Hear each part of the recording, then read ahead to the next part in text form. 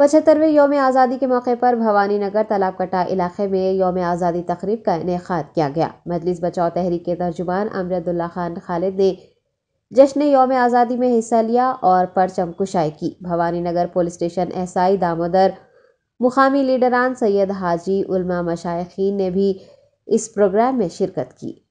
अलाउद्दीन को और एक बेगम बाज़ार की एक बहुत बड़ी शख्सियत तुर्रेबाज खां और दीगर ऐसे तकरीबन तीन हज़ार लोगों को तेलंगाना और हैदराबाद की सरजमीन पर अंग्रेज़ों ने शहीद किया। आज उनको भूल जा रहे हैं।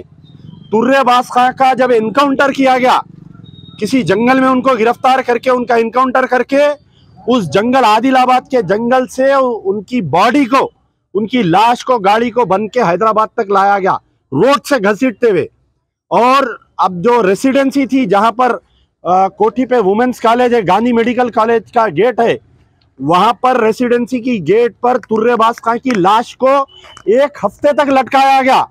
आप जाकर देख सकते हैं वैसे शख्स को अगर केसीआर साहब अवॉइड कर रही मौलवी अलाउद्दीन को अवॉइड कर रही तो मैं समझता हूँ कि केसीआर भी मोदी और योगी के नक्शे कदम पर है। तो हमारा मुतालबा है कि ये जो ये पूरा साल तमाम जश्न मनाया जा रहा है, उसके अंदर मुसलमानों के रोल को आगे लाना चाहिए। और बड़े हैरत की बात है कि Urdu is the second language Telangana की सेकेंड लैंग्वेज उर्दू है।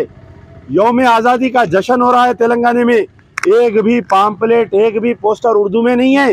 हमारे सियासी कायदीन, हमारे उलमा मशाइन जिन्होंने के सी आर की तइद की, आज कहाँ पर है ये लोग? मैं पूछना चाह रहा हूँ। देखिए साहब, आज हम जो है पचहत्तरवा साल मुकम्मल किए हैं। योम आज़ादी के लिए, आज़ादी होकर हिंदुस्तान में और सारे मुल्क में एक जश्न का माहौल है। चाहे वो हिंदुस्तान का कोई भी स्टेट रहो, तेलंगाना रहो, महाराष्ट्र रहो, कर्नाटका रहो, हम जो है योम आज़ादी का जश्न मना रहे हैं। दूसरी तरफ़ ये है कि तेलंगाना में भी योम आज़ादी का जश्न मनाया जा रहा है। 8 अगस्त से लेकर 22 अगस्त तक एक स्पेशल प्रोग्राम्स रखे गए हैं। लेकिन अफसोस की बात है, मैं इस्तकबाल करता हूँ कि तेलंगाना में भी योम आज़ादी का जश्न मनाया जा रहा है। लेकिन बड़े अफसोस की बात है कि जो मरकज़ में हो रहा है एनडीए गवर्नमेंट में क्या हो रहा है, वहाँ पर बीजेपी है आरएसएस है वहाँ पर। वहाँ पर योम आज़ादी के जश्न में, पचहत्तरवा साल जश्न में पूरे मुस्लिम, मुसल, मुस्लिम फ्रीडम फाइटर्स को अवॉइड किया गया टोटली आप लेकिन अफसोस की बात है कि तेलंगाना में भी जो है, एक भी मुसलमान की पूरे तेलंगाना में फ्रीडम फाइटर्स के बड़े बड़े फोटोस लगाए गए पेपरों में एड्स दिया जा रहा है। लेकिन तेलंगाना हैदराबाद की एक तवील तारीख रही। हैदराबाद में जो योम आज़ादी के लिए अंग्रेज़ों के ख़िलाफ़ में बोलिए या निज़ाम के ख़िलाफ़ में बोलिए जो मुहिम चलाई गई सारा हिंदुस्तान हैदराबाद की मिसाल देता है। लेकिन तेलंगाना के चीफ मिनिस्टर के सी आर साहब एक भी मुसलमान का पोस्टर नहीं, जो गवर्नमेंट से ऐड रिलीज़ हो रहा है, उसमें एक भी मुसलमान की फ़ोटो नहीं, नामो निशान नहीं है। तो आप बतलाइए कि कर्नाटका में टीपू सुल्तान की फ़ोटो नहीं है, वहाँ पर बीजेपी की गवर्नमेंट है मैं मान सकता हूँ कि बीजेपी मुसलमानों की खुली दुश्मन है।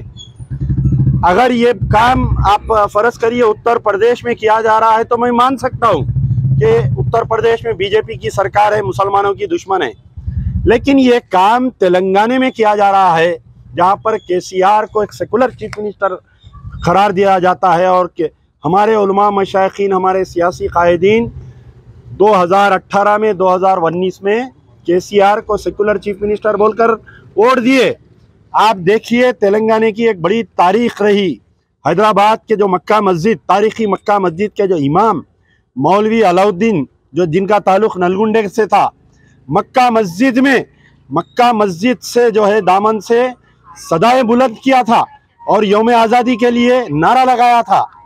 और उसी मौलाना मौलवी अला